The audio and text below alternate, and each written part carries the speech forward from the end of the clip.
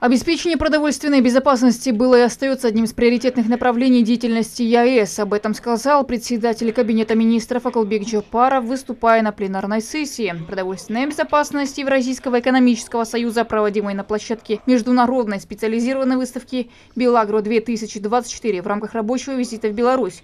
Акалбек Джапаров отметил, что по оценкам международных экспертных организаций в 2022 году по меньшей мере 258 миллионов человек в 58 странах и территориях столкнулись с проблемой обеспечения продовольственной безопасности, а по прогнозам к 2028 году почти 1 миллиард населения Земли столкнется с острой нехваткой продовольствия.